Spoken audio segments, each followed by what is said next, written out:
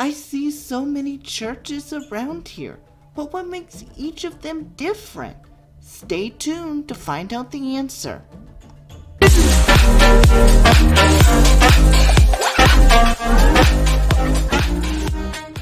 My name is Zeke Matthew, and Animated Christians are all about original movies and series, as well as clean anime and manga reviews. If you have not watched season 1 of What's the Church series, then click the video card above since this is a continuation of the series and it will give you a better understanding of where I'm coming from. Now, I'm not saying all churches are like this or all pastors are like this. I'm just trying to get rid of the mindset that we created the church to be.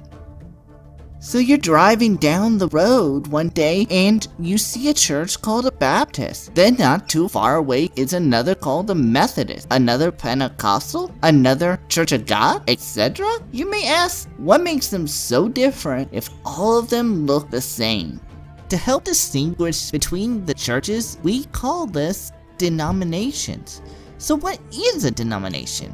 Well, the definition of a denomination is a religious organization whose congregations are united in their adherence to its beliefs and practices or act of dominating. A good example is if I have a whole pie and I cut it into pieces. First, I cut it in half, then I cut it again until there are little pieces of the pie. You see, that's what denominations are. They are strips of the pie which make up the Bible. Let's look at another half of this definition, which is an act of dominating. A definition of dominating is to control, govern, or rule by superior authority or power. Churches have dominated the vast majority of the building space on every block. But have you noticed not a lot of people go to church? So if the church is dominating every block space, why are they not dominating this country? Well, part of the problem is there's division in the church. So maybe people might mistake each church being a different religion, even though it's under the Christianity umbrella. So a really good way of looking at this is each church is a club. So a definition of a club is an association of persons for some common object usually jointly supported and meeting periodically.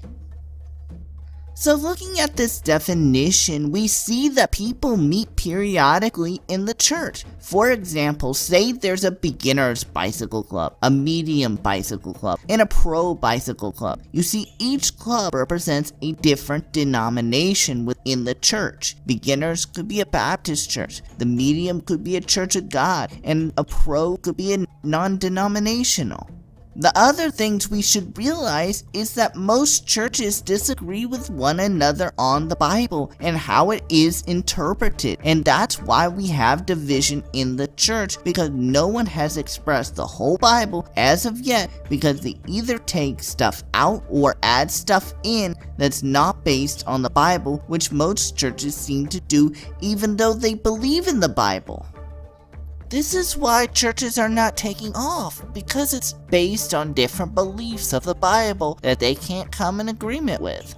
This is why you see so many different belief systems in the church, because it's all based on different beliefs in the Bible. And this is what has caused the division in the church. Another problem denominations face is they're competing against one another. Each denomination believes he or she is correct of doing church. But in the Bible, there is no such thing as denominations. It's one big family. Let me know your thoughts about this subject in the comments below, and join me next time where we will discuss the foundation of the church and the basis for it. And never forget, Animated Christians is just for you.